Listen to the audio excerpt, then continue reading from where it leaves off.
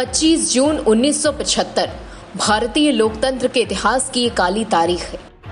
तत्कालीन प्रधानमंत्री इंदिरा गांधी के कहने पर 25 जून 1975 को तत्कालीन राष्ट्रपति फकरुद्दीन अली अहमद ने इमरजेंसी यानी कि आपातकाल का ऐलान किया था। आज आपातकाल के ऐलान को 45 साल बीत गए हैं।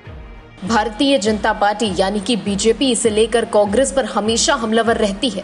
बीजेपी की ओर से आज एक वीडियो शेयर किया गया है, जिसका शीर्षक है 25 जून 1975 आपातकाल लोकतंत्र का काला अध्याय।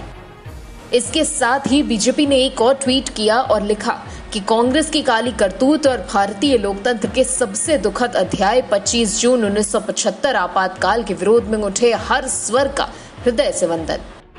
वहीं बीजेपी अध्यक्ष जेपी नड्डा ने कहा कि भारत उन सभी महानुभावों को नमन करता है जिन्होंने भीषण यातनाएँ सहने के बावजूद आपातकाल का जमकर विरोध किया था।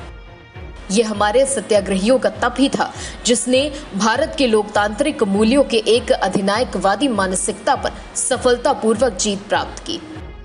आपातकाल को लेकर ट्विटर पर कांग्रेस को खरी खोटी सुनाई जा रही है। Hashtag dark days of emergency hashtag emergency 1975 haunts India जैसे हैश टैग्स ट्रेंड कर रहे हैं।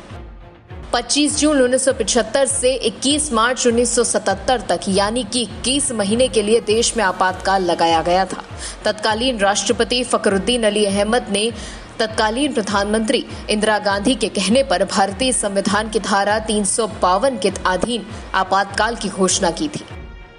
ये भारतीय लोकतांत्रिक इतिहास का विवादास्पद और अलोकतांत्रिक काल था। आपातकाल में चुनाव स्थगित हो गए थे और नागरिक अधिकारों को खत्म कर दिया गया।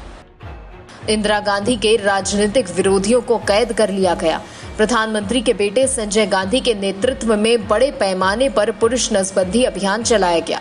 लोगों में काफ़ी गुस्सा था। नतीजतन 1977 का चुनाव इंदिरा गांधी हार गई थी।